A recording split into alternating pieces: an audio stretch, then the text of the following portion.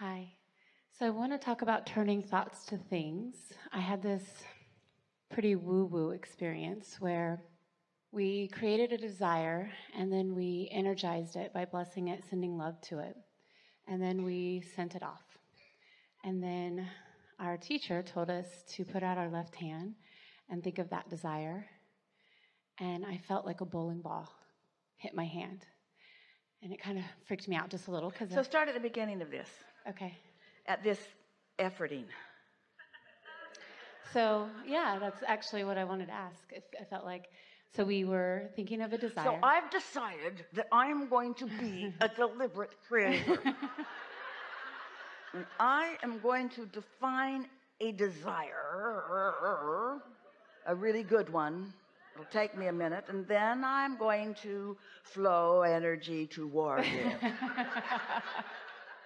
it actually was kind of fun. I felt like a wizard in a way.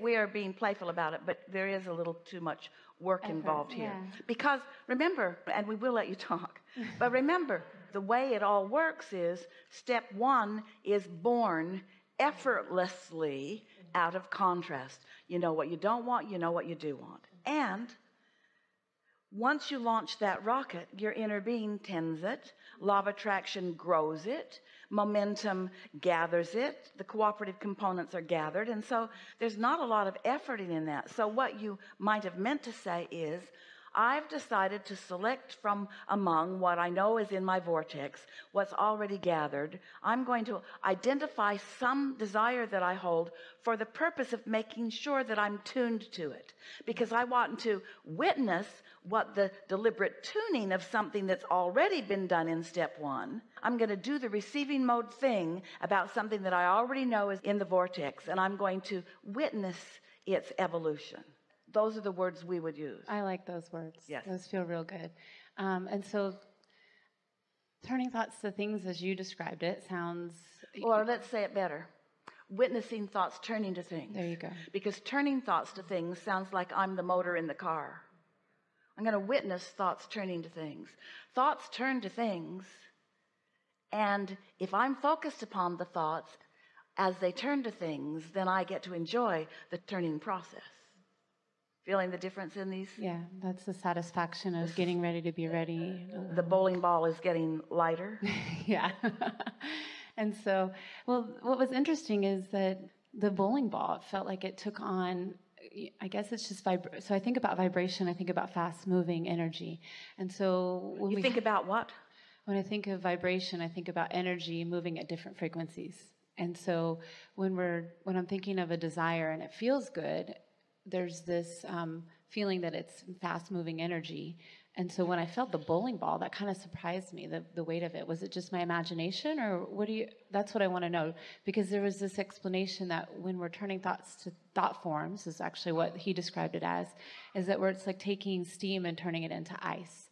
So that I was very curious about that. Is it What this sounds like to us is human beings who've decided to take on the role of non-physical and then complain about their inability to do something that they're not supposed to be doing. that's perfect? Yeah, I got you. That helped clear that up. Thank you so much. Now, that doesn't mean it's not a good idea to focus. Of course, you want to focus and you want to find the lightness and the good feeling in the thoughts that you're thinking. Of course, you are the catalyst that is allowing yourself to be receiving. But it's time to really emphasize that thoughts are going to turn to things with or without you because it's the way life works. And that what this work is about is about accomplishing a vibrational frequency that since law of attraction is the order of the day that as I accomplish a frequency I allow the kinds of things to be witnessed and experienced by me that I prefer. Because you get what you think about whether you want it or not. Thoughts are turning to things all around you all the time. But this exercise sort of implies that if you're not really focused, then you're not turning thoughts to things. And that isn't true at all. Thoughts are turning to things and you're witnessing them. The question is, what are you witnessing? And the answer is, depends on how you feel while you got your focus on it. Helpful? That's so helpful. Thank you. And then I want to ask you about you had mentioned before about source or inner being, it sometimes inspires contrast. And is that And Yes, because sometimes your inner being knows that the most satisfying way to get you to where you really want to be is by causing this question to be stronger and this question to be stronger and this question to be stronger and this question to be stronger. Sometimes you have really big intentions that different experiences cause the question to be stronger and therefore the answer to be even more satisfying. And is that in every case that the contrast is inspired or? No, because you're not always in the receiving mode. Sometimes your contrast is inspired through your disconnection. Perfect. But the point of that is to not get balled up in the contrast mm-hmm. because overall contrast is a really good thing. Without it, there would be no expansion. Mm-hmm. And without it, there could be no eternity. And so just across the board, accept contrast as a good thing, The benefits. as a clarifying thing. Yeah, that's really good.